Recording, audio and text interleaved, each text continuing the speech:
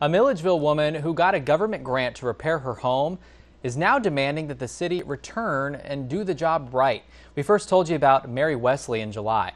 Problems with her home led her to call on the city for help, but 41 NBC's Amanda Castro found out that those most recent repairs are falling apart. It's a story you'll only see on 41 NBC. Mary Wesley wants Milledgeville city officials to finish what they've started. She says this four month long ordeal is nowhere near over, even after the renovations and most recent repairs.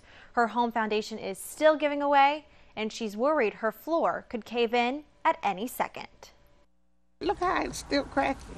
Mary Wesley says her home still needs a lot of work even though the city hired contractor supposedly fixed the problems back in July. It's just been one thing after another. The house is still cracking.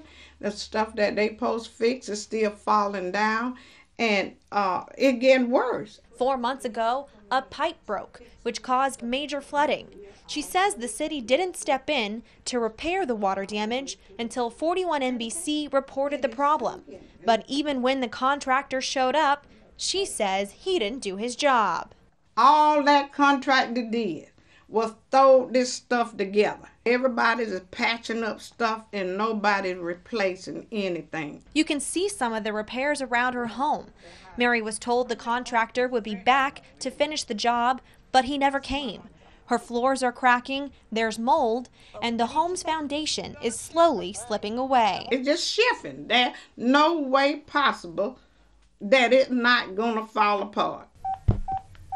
Mary's tried calling the contractor, but her calls were sent to voicemail. At the tone, please record your message. She's even reached out to the city of Milledgeville for help, but she feels like no one is listening. We are in danger and somebody needs to help us. A desperate plea, all in the hope that the city will come back and finish the job that it started.